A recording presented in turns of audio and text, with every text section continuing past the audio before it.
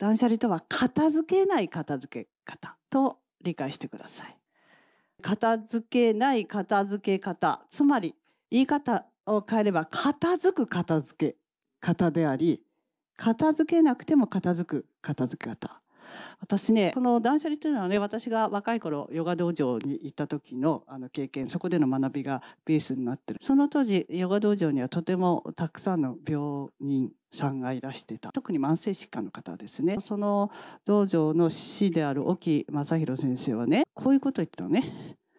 治す治し方と治さない治し方があるよ。まさに断捨離もその通りで治さないじゃなくて片付けない片付け方って言ったらいいかなと思うんですね。なぜなら片付かない原因って何？なぜ片付く？なぜ散らかるの？